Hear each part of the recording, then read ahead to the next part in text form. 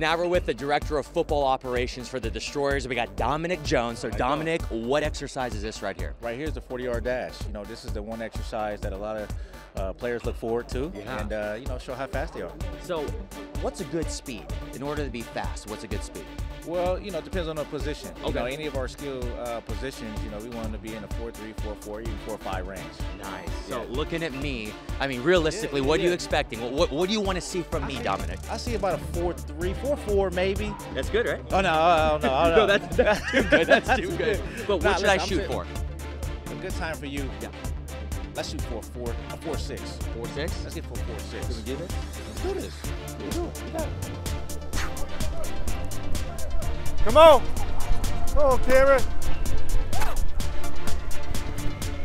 Yeah, uh, What we'll time? Give a, we'll give a five one. What time? Be, be, be honest. be honest. Five one. Five one. Five We one. might try it again. I'm gonna take the phone. Resistance out. Here we go. Here we go. So, We- so you keep that head down here. Yeah. You pop out for the first 10 yards. It's all drive phase. All drive. Got it. Drive, drive, and then slowly before the raise up. Attempt number two. You ready, coach? Let's go. Sit down.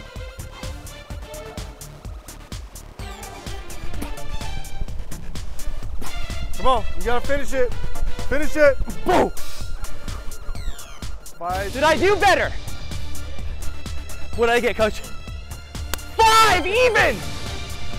Yes. And I didn't even lie about it. And he didn't lie this time.